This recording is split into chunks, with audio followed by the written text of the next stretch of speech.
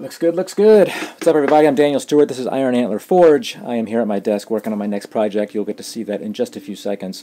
But what am I talking about today? What is the point today? The point is going through the fire and coming out the other side.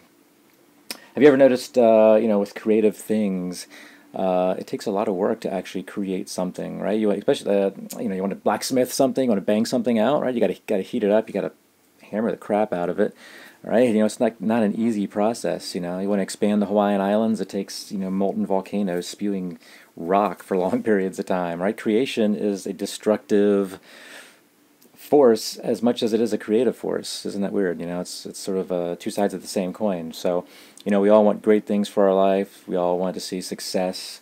Um, you know, we're all trying. I'm trying. This is part of me trying, right? Um, we're banging it out, and uh, you know we want all the good stuff, but you know the opposite side of that coin is that uh, to create something, it takes a certain amount of destruction. Like something has to be knocked down. You know, you want to get a new job, you got to quit your old job. You know, and that's a little scary, right? You know, you want to meet somebody new, you got to get rid of the person that you're with. Uh,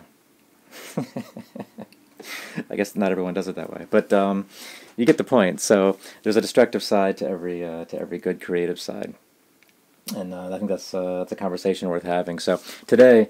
I am making a piece of jewelry specifically for the people who go into the literal fire, the actual fire. Um, that is the fireman's axe and shield in the background. And um, this is for those brave, intrepid souls who know no fear actually they know plenty of fear i'm sure. Going into a burning building has got to be uh, scary as shit but they do it anyway. And um, that's why it's so badass and that's why i'm creating this piece of jewelry for you guys. So if you're a firefighter thank you. If you know a firefighter uh, send this their way. And um, like subscribe and please by all means comment. Tell me your stories. Are you a firefighter? Do you have like a kick-ass firefighter story? Tell me your story and um, if i get a good story i might actually send you something cool on the house. So uh, I will say no more. Let's get out to the shop and bang this thing out. Hope you enjoy it. All right, ironantlerforge.com. Thanks, everybody.